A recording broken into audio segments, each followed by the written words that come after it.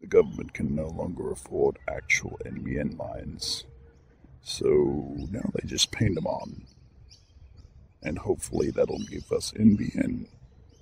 Or that'll fool us into thinking that'll give us NBN.